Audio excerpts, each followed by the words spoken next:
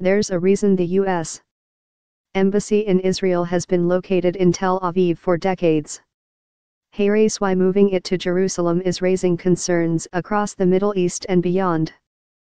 USA Today Pope Francis greets the crowd during a weekly general audience at the Paul VI Audience Hall on December 6, 2017 in Vatican, photo, Andreas Solaro, AFP Getty Images.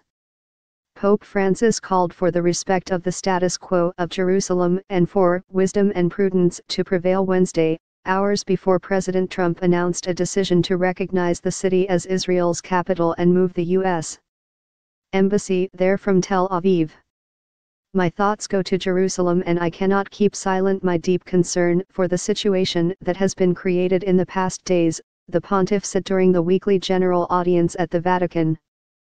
At the same time, I would like to make a heartfelt appeal for everyone's commitment to respect the city's status quo, in conformity with the pertinent United Nations resolutions, he added. More, Trump's Jerusalem decision alarms world leaders. More, Trump will begin process to move U.S. Embassy in Israel to Jerusalem. Pope Francis said Jerusalem, a holy place for Jews, Christians, and Muslims, has a special vocation for peace. A number of world leaders have warned against moving the U.S. Embassy from Tel Aviv to Jerusalem. A link has been posted to your Facebook feed.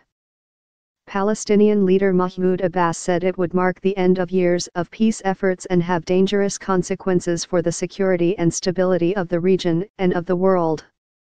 British Prime Minister Theresa May said Jerusalem should ultimately form a shared capital between the Israeli and Palestinian states the status of Jerusalem should be determined in a negotiated settlement between the Israelis and the Palestinians, she said. Israeli Prime Minister Benjamin Netanyahu praised the news. In a Facebook video, Netanyahu said that Israel's historical and national identity is receiving important expressions every day, but especially today. Jerusalem Mayor Nir Barkat said the move would help strengthen his country. West Jerusalem is where Israel's government is based, but Palestinians view East Jerusalem as the capital of a future Palestinian state. For that reason, every U.S. president since Israel's founding in 1948 has located the U.S. Embassy in Tel Aviv.